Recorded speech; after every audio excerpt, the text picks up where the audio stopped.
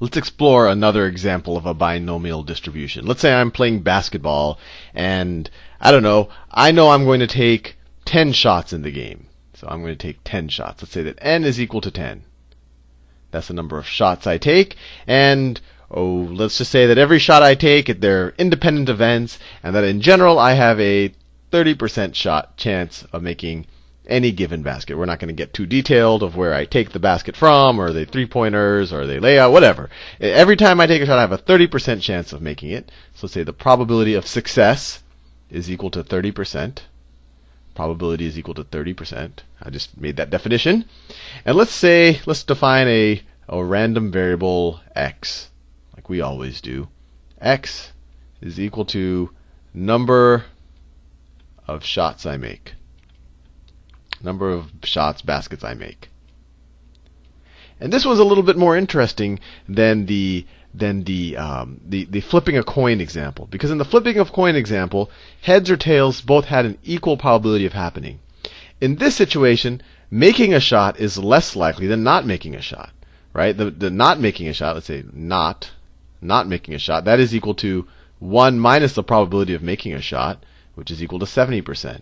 So it's a slight twist on what we did before, but in some ways this might be a more interesting example to your everyday life. And let's see what the distribution looks like. And also I'm taking more shots now than I did before. And so it'll probably take a little bit more time. Actually, this is too much. Let's, because I want to, I don't want to waste too much time. Let's do, let's say I take six shots. And x, the random variable x is the number of shots I make. So let's think about how we figure out this probability. What is the probability, what is the probability that x is equal to zero? So I make no shots at all. So I take six shots, and every shot I take, I miss. So in order for that to happen, this event has to happen six times in a row.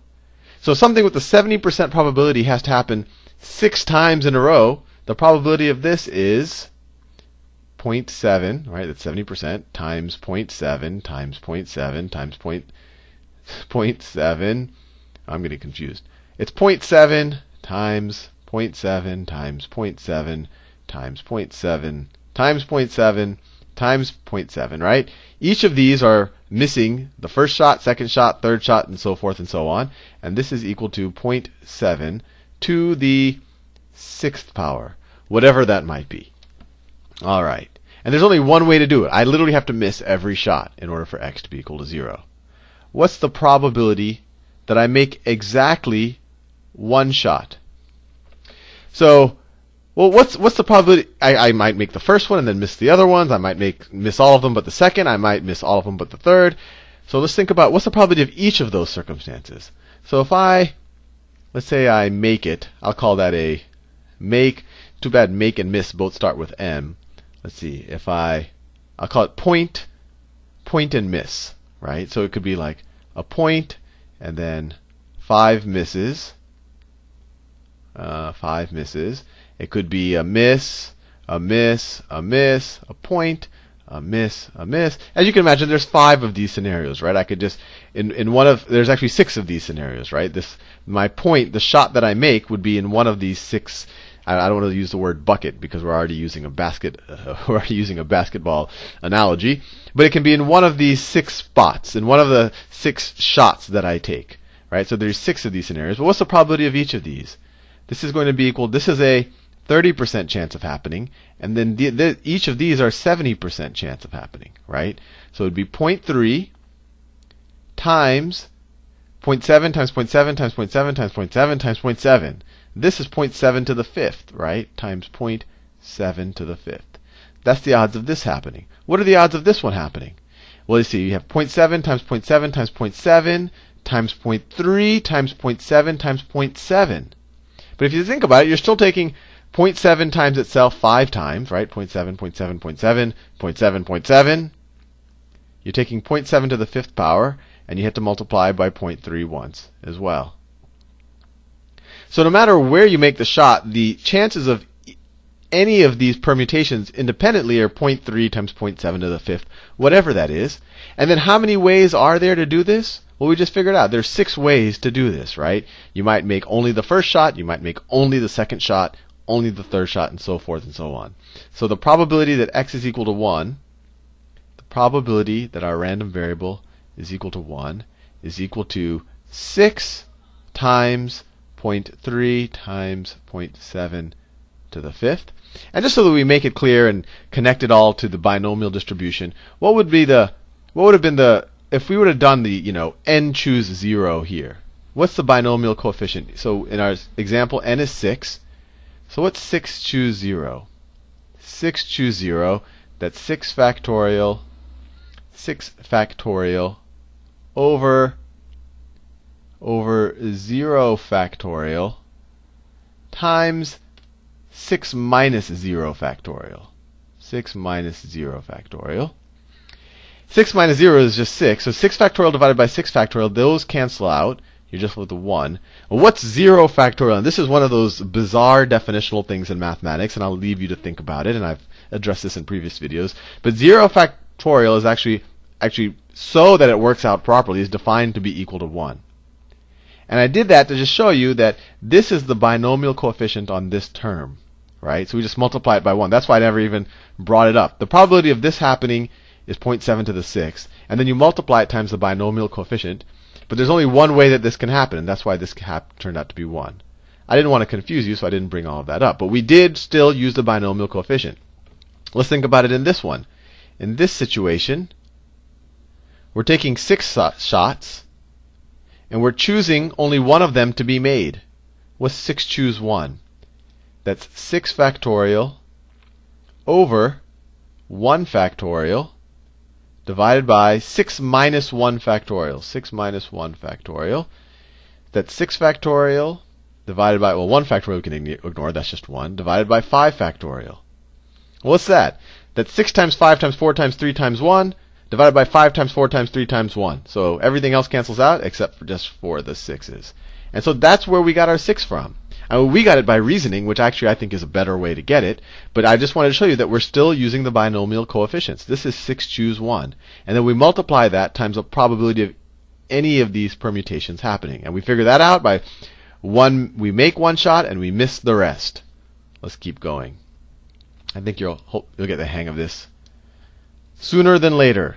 What's the probability that you make exactly two shots?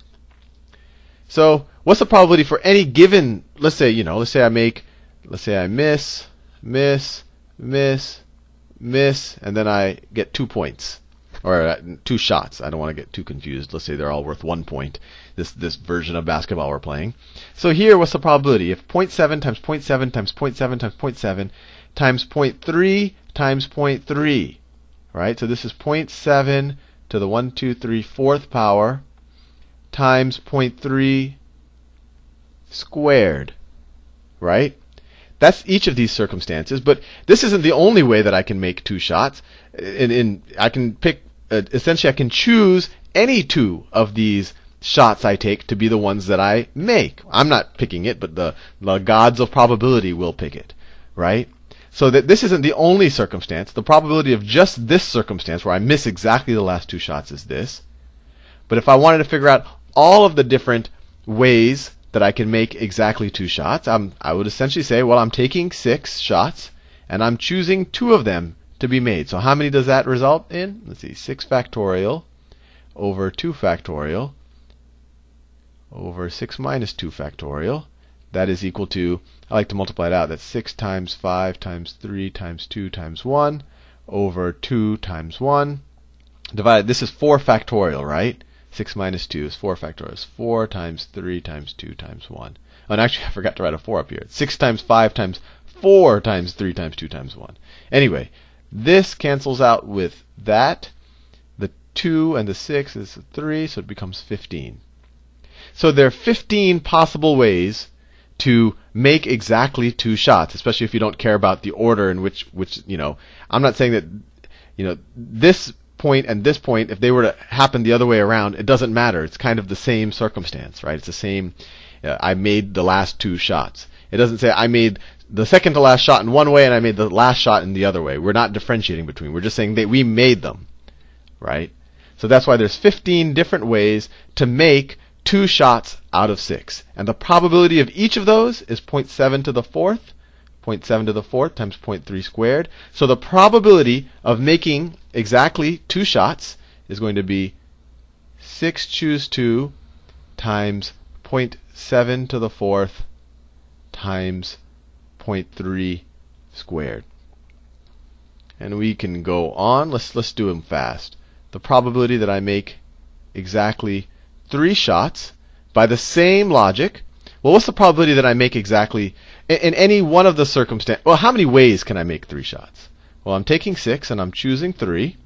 And then the probability of each of those ways is in order to make three shots, I'm going to miss three shots, and then I'm going to make three shots. Straight, that's straightforward enough, and we could calculate what that is. But hopefully you know it. Let's see, let me just do it. So that's 6 factorial. That's 6 factorial over 3 factorial times 6 minus 3 factorial times this part. 0.7 third times 0.3 squared. Let's keep going. And this should actually gets faster once you see. Probability that I make exactly four shots. Well, I'm taking six and I'm going to make four of them. So I have to choose four out of six. So if I'm making four shots, I'm missing two shots. So there's going to be two shots that I miss. 0.7 times 0.7. That's the probability of a miss, 0.7. And then I'm making four of them. So 0.3. There's a 30% chance of making each of them. So to make four, 0.3 to the fourth. So in any one of these ways where I make four shots, this is their probability, and there are this many ways of doing it. And that's equal to 6 factorial over over 4 factorial times 6 minus 4 factorial, and then times 0.7 squared times 0.3 to the fourth. And if you think of this is 2 factorial, right? This is 2 factorial. And we figured out what that was up here. Right? 6 choose 2 was the same thing. It was 6 factorial over 2 factorial divided by 4 factorial. Is the same thing as this. We just switched the 4s and the 2s. So this would also be equal to 15. Anyway, I'll probably do that in the next video. But let's just calculate these really fast. The probability that x is equal to 5, I make 5 shots. That's 6 choose 5 times 0.7. So I'm only missing one shot, right? So the probability of missing one is 0.7, and then I have to make 5, not necessarily in a row, 0.3 to the fifth. But you see, each of the ways, any given way that I make exactly 5 shots, this is the probability. And there are this many ways, 6 choose 5 ways of making exactly 5 shots. I could get the first 5 shots, miss the sixth. I could get the last 5 shots, I could make the first, miss the second, etc., and so forth. And then finally, the probability that x is equal to 6. I make all of the shots. That's 6 choose 6. Have, how many ways can I pick 6 things out of 6 uh, choices? And there's really only one way. You could calculate it by calculating that. And once again, you'll have to you, you'll have to know that 0 factorial is equal to 1. And have to make all 6 shots. So 0.3 to the 6, right? 0.3 times 0.3 times 0.3 times 0.3. Anyway, I'm all out of time again. In the next video, we're going to